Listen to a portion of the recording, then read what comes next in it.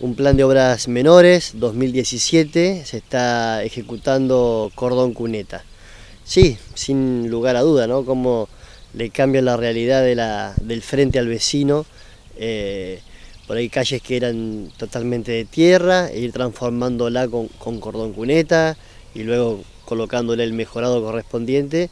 Eh, luego también el vecino mismo es quien eh, embellece su frente, emprolijándolo, cortando este, con más continuidad el césped, poniendo la plantita, el setito de basura y bueno, y va eh, acomodándose también el, abovedamiento de la, de la, calle y puede salir eh, eh, más, más cómodamente cuando llueve. Vale decir también que la realización de cordón cuneta contiene el ripio, que a veces es un dolor de cabeza para los presidentes comunales, ya que son, es, caro este material y se termina diluyendo, se va por, las por las zanjas. Sí, sí, la verdad que cuesta mucho comprar un equipo de piedra, por ahí depende de la época del año, la, lo podemos hacer con, en más cantidad y podemos abarcar un mantenimiento más extenso de toda la, zona urbana. Eh, pero bueno, y Obras Menores 2018 se presenta eh, en la Secretaría de Asuntos Municipales de la provincia para la adquisición de un camión ¿no? Eh, nuevo para eh, residuos, movimiento de suelos y demás, para renovar el parque automotor. la última, ¿esta obra vinculada a Cordón Cuneta se hace por contribución de mejoras al vecino o se lo hace gratis? No, no, no, se lo hace gratis, sí. ¿Y, y Fondo de Obras Menores qué cantidad de dinero reciben ustedes anualmente? Y ahora, por lo que es el Fondo de Obras Menores 2018, con un porcentaje eh, que nos queda remanente de 2017 es cerca de 1.100.000 pesos. Iluminación, otro tema este, interesante para el vecino. ¿Cómo están con, esta, con este aspecto, Emiliano?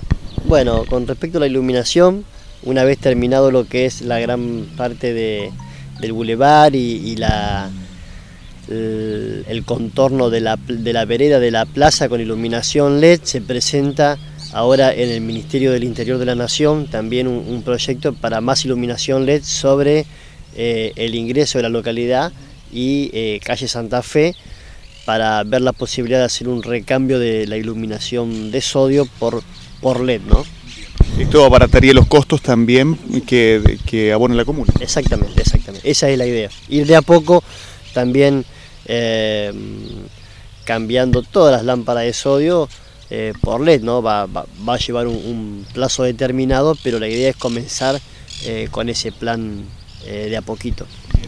¿Golpean alguna puerta de la nación? ¿Se abren las mismas mayormente? Digo, usted es un hombre de afinidad con el gobierno nacional. Sí, sí, siempre, siempre.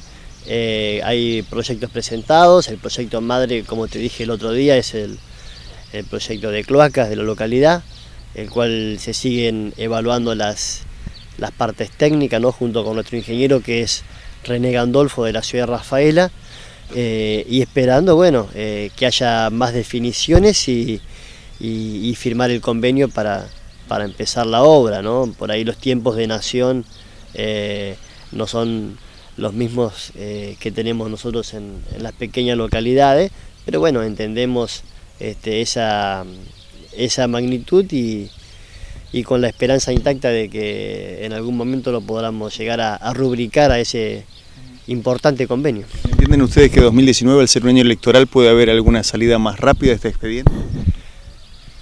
Eh, ojalá, ojalá, ojalá. Creo que, bueno, estamos pasando por un momento de transición económica a nivel nacional eh, difícil, donde todos tenemos que hacer un esfuerzo, se entiende esa parte, y eh, ver eh, si efectivamente se rubrica el Ministerio del Interior un, convenio con el Banco Mundial, quien es que, quien financia por ahí todo este tipo de proyectos. Yo sé que están analizando esa posibilidad, así como también la provincia, el endeudamiento que, tomaría, que todavía no está definido. Eh, ver, estamos como a la espera de, de esa rubricación, ¿no? Por ahí escapa a nuestra voluntad. Los montos son multimillonarios a esta altura del partido, digo la obra de cloacas acá para, para San Agustín. La obra de, de cloacas aquí en San Agustín está hoy ronda los 30 millones de pesos, eh, hoy, hay que ver eh, más adelante. Tiene que absorber el frentista, es imposible, la comuna tampoco. Sí, sí, sí, por eso.